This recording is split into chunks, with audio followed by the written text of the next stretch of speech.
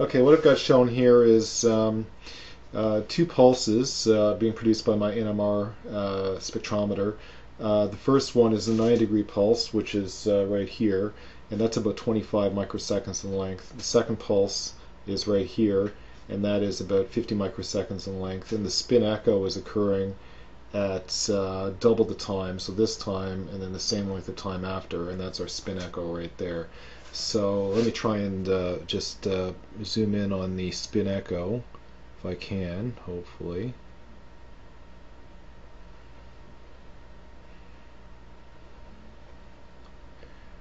And there we can see our spin echo, uh, which is kind of a uh, double pyramid shape, up and down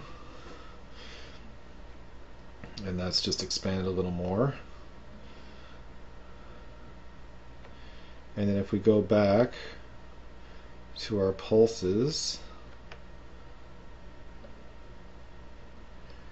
we can see the ring down from the uh, second pulse, 180 degree pulse, and you can see it there. And then, oops, go to our first pulse, our 9 degree pulse. You can see it there. And it's not really on maximum.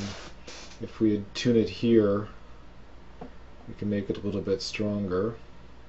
But for the spin echo, there seems to be like a precise point uh, in terms of the magnetic adjustment where it appears to be the strongest we then go back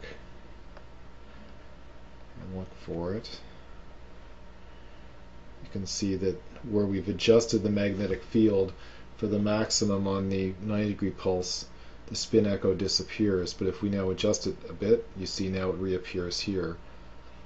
So it's a little bit off uh, from the center that you would get from the, uh, the ring down.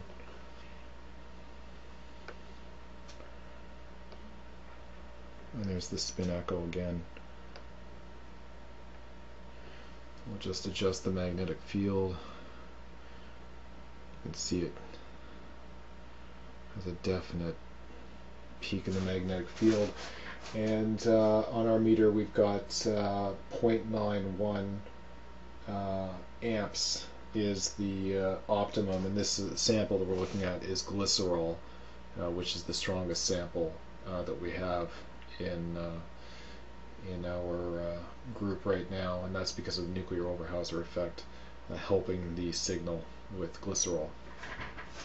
Okay.